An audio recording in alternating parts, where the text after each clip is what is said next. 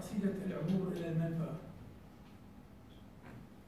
أنين القطار يثير شجر الأنفاق حادرا على سكة الذكريات الطويلة. وأنا مسبر إلى النافذة بنصف قلب تاركا نصفه الآخر يلعب البوكر مع فتاة حسيرة الفخذين. تسألني بألم وذهول لماذا أصابعي متهرئة كخشب التوابيت المستهلكة؟ وعجولة كأنها تخشى أن لا تمسك شيئا.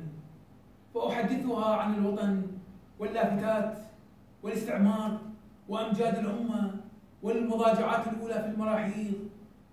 فتميل بشعرها النثيف على دموعي ولا تفهم.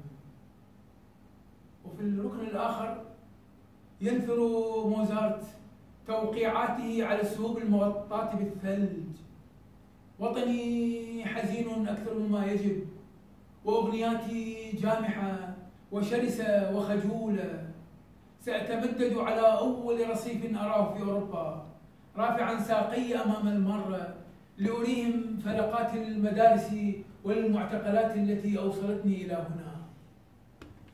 ليس ما أحمله في جيوبي جواز سفر وإنما تاريخ قهر.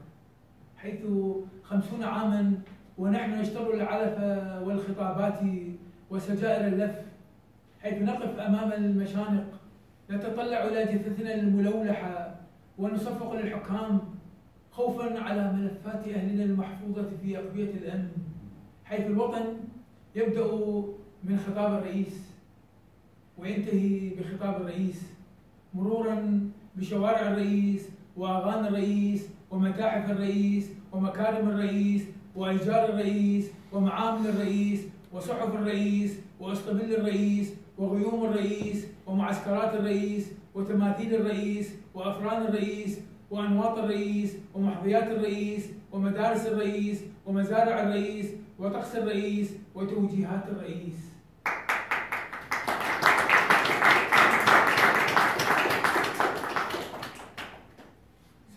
يبدو طويلا في عيني المبتلتين بالمطر والبصاق وتسألني من أي بلاد أنا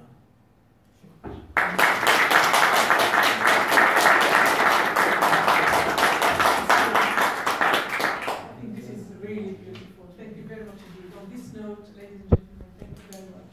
And thank you again. Thanks.